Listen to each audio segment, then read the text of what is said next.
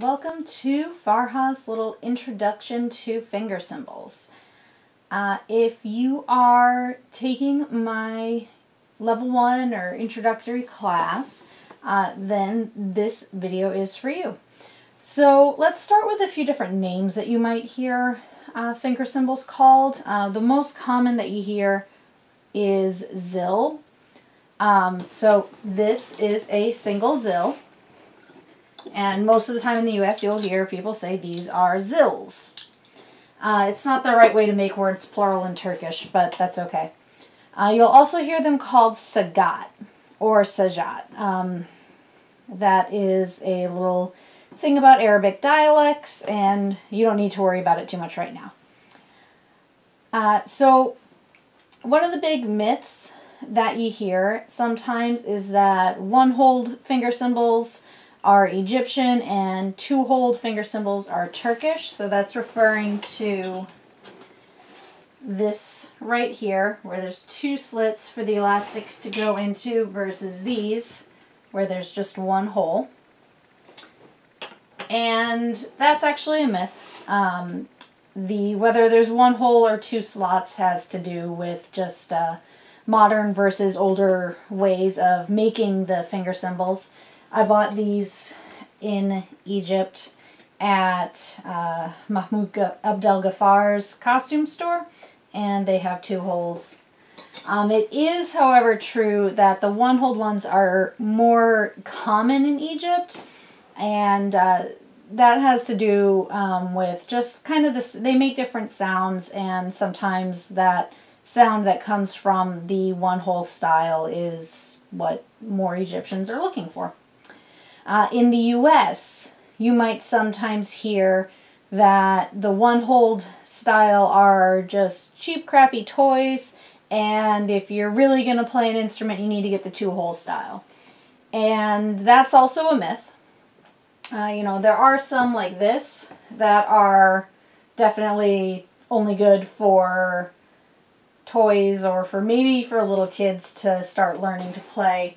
Um, but, you know, there are two hold size or styles that are also little crappy toys. So it really just depends more on the, the actual cymbal itself. Um, another myth is that some people think Egyptian dancers don't play finger cymbals, and that is absolutely not true. Um, Egyptian dancers have been playing finger cymbals for ever and ever and ever and they still do.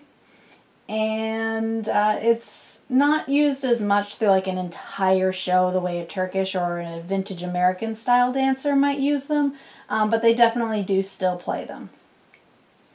Okay, so I have a variety of cymbals here. And when you're going to pick out finger cymbals to start playing, you want to pick something that you like the way it sounds. That's the most important thing right now.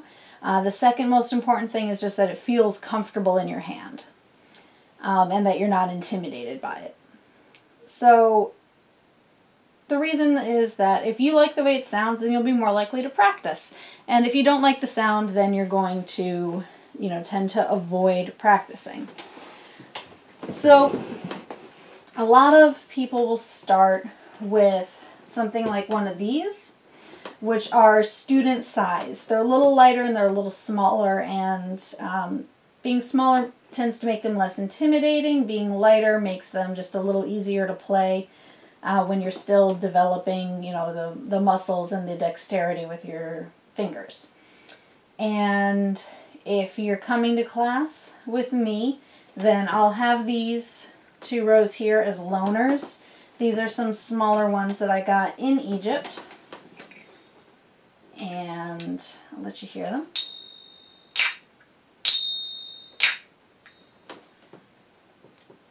And I got four sets of those that are all the same that um, they're going to be used in an upcoming show, so you can use them in the meantime. And you can see already the difference between these ones that are, you know, they're student size, but they're still real instruments versus these really tiny ones that are more meant as toys or for uh, for kids. and very small hands. Um, these ones are a pair of Saroyan, which is the brand, and they named this style the Grecian. It's got a nice little Greek key around it.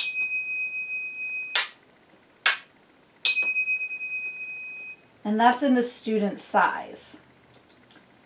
So you'll notice these ones all have uh, safety pins in the elastic. That's just because they're my student loaners and I didn't want to set the elastic too small because um, I have tiny little fingers. Um, so the size and shape of the cymbal along with the type of metal and the kind of heaviness or the thickness of the metal is going to change the sound of it. So this is a similar size, same metal. These are the Saroyan arabesques in the student size. And you're going to hear they sound completely different from Saroyan's arabesque, which is made from the same metal.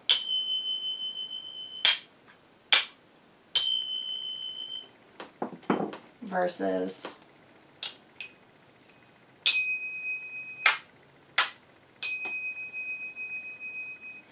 And these are both from a high quality finger cymbal maker. Uh, but the shape of them changes the sound. So the arabesques again, in the student size, and then I have the arabesques in a professional size, and they're made with something called German silver, um, which is actually an alloy that doesn't have alloy that doesn't have a lot of silver in it, but that's a whole another story.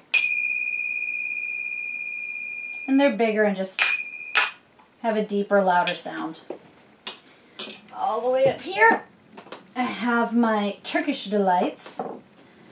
And one thing, often Turkish style cymbals have a little uh, deeper dome and curved rim, uh, less flat rim. But again, that's a generality.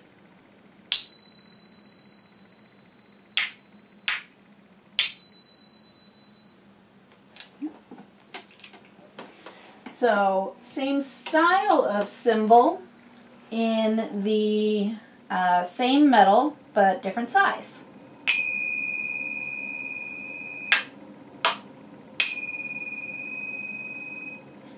The only reason I'm not putting these on to play them is just to go a little faster. Um, so those are most of my two-hole cymbals. I also have these, like I said, that I got in Egypt and they're extremely lightweight, um, which I love about them.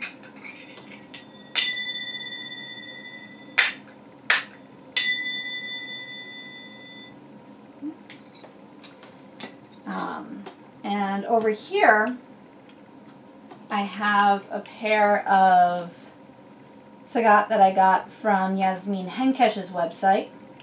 They're really heavy, and the nice thing about practicing with really heavy ones, once you're used to playing, is that they really build up your strength and you know your ability to speed up. So I found after I practiced with these for a while, and then went back to these, all of a sudden I was able to play much faster. Uh, but I didn't move on to these until after I'd been playing for quite a while. And these have a different sound.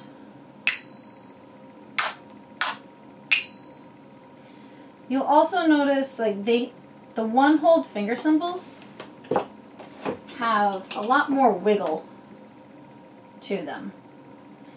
Which is why a lot of people will kind of prefer the two hold ones. They're just a little easier to control. That might make them a little less intimidating for you to learn on. Um, I really enjoy playing these. Uh, but I didn't start playing them until after I'd been I had some experience. So you might decide that you want to start with the two-hole variety. So another set that I got from Yasmin Henkesh's site. Different shape, but pretty similar in their weight.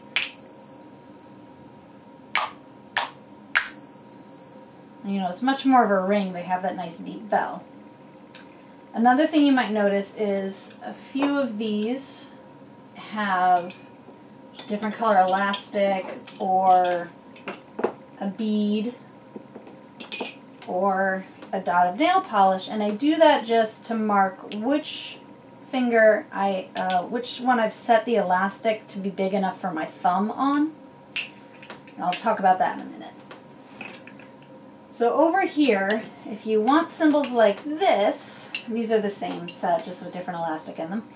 If you want cymbals like this, then I have to find somebody to be a mule for us to bring them back from Egypt.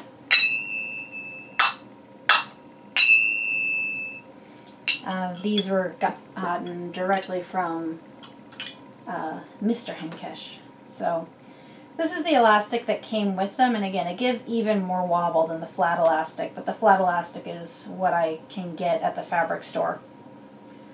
So it's the same set. And then up here, um, pretty similar shape and um, just a little bit bigger and a little bit less definition between the bell and the rim.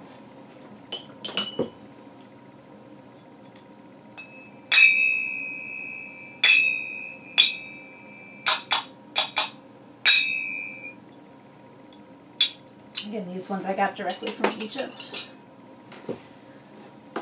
So, um, all of those are good for playing in a show, in performance, in class.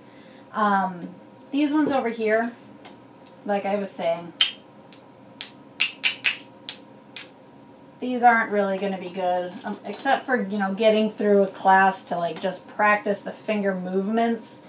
Um, or maybe for a little kid to keep them from making too much noise. They're not really going to be any good. I'm not even sure where these came from. I just found them in a drawer one day. These ones I think came with one of those like learn how to belly dance VHS tape sets. So that's how long I've had these for. And you know, unless I'm going to turn into like one of those wind up monkey toys, they're not really good for much of anything. And these ones up here, these are kind of knockoffs of Turquoise International cymbals. Turquoise International cymbals themselves sound really great. I don't happen to own any. Um, these ones, I don't really like the sound of them. I don't really enjoy playing them, but I got them in a pinch and they'll do. Um, so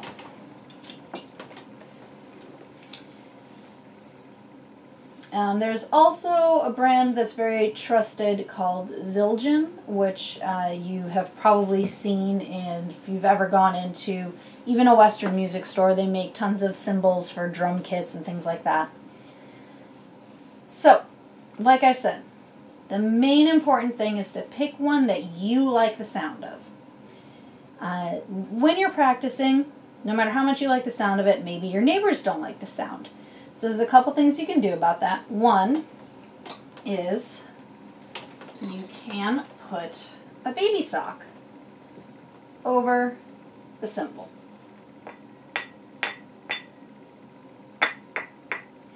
And particularly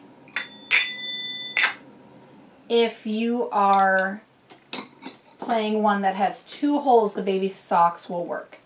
If you're playing the kind that have one hole, then a baby sock will keep it from wobbling and you won't get to practice making sure that your hands are in the right position to play them when they're wobbling.